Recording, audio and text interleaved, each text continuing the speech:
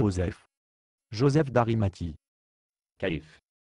Le prêtre honorable élevé. N'avez-vous pas prêtre honorable haute moi? Excusez-moi. Vous m'avez trompé. Je suis désolé, mais je n'ai aucune idée de ce dont vous parlez. Ne jouez-vous pas innocent avec moi? Vous savez très bien que ce que vous avez rendu impossible pour nous de nier la résurrection de Jésus. Vous allez essayer de nier la résurrection. Eh bien, bien sûr, nous allons nier la résurrection. Si Jésus a ressuscité des morts, nous devons admettre que nous avons exécuté le Messie vrai. Bien, Jésus était peut-être. Mais maintenant, nous devons changer notre histoire, parce que nous avons découvert que vous avez demandé son corps. Vous m'avez donné la permission de réclamer le corps. Vous pensiez que c'était une bonne idée. Tu as profité de moi. J'ai profité de vous. Oui.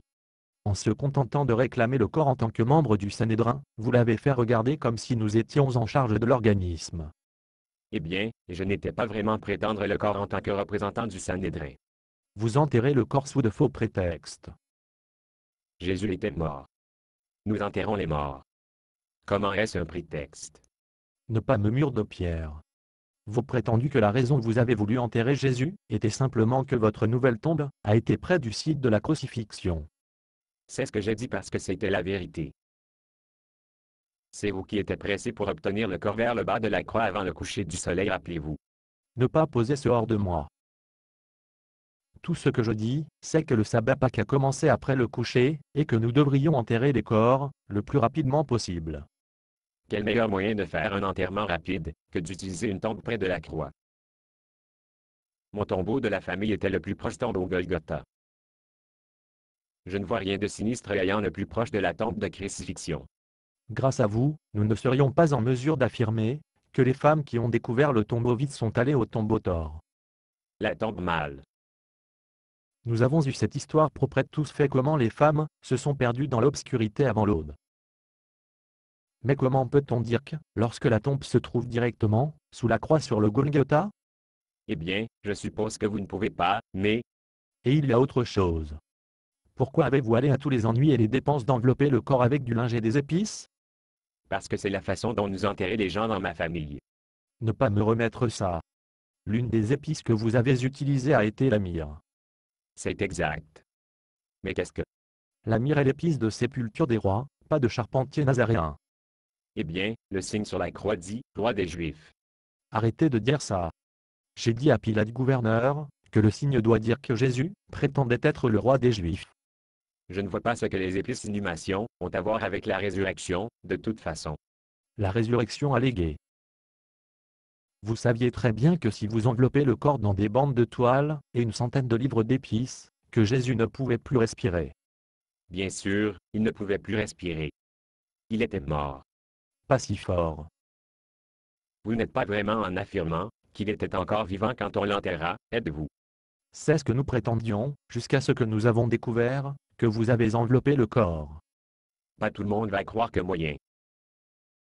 Pas maintenant. Merci à vous. C'est ridicule. Le centurion romain poignardait Jésus dans le cœur avec une lance, avant que nous lui ôtât la croix. Selon le droit romain, si Jésus était vivant quand on le descendit de la croix, le centurion obtiendrait la peine de mort. Nous allions avoir exécuté le centurion. Mais maintenant nous ne pouvons même pas faire cela, parce que vous enveloppez le corps. On n'allait pas avoir tué un innocent juste pour sauver la face, étiez-vous? Il est un gentil.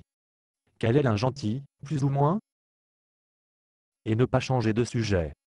C'est vous êtes idée d'ensevelir Jésus dans une tombe au lieu de dans la GN avec les autres. Si je me souviens, c'est vous qui avez suggéré que ce serait une bonne idée d'ensevelir Jésus dans une tombe avec une grosse pierre couverte, afin que ses disciples ne pouvaient pas facile de voler le corps. C'est bien ce que tu voulais que je pense. Vous m'avez joué comme une harpe. Et je crois.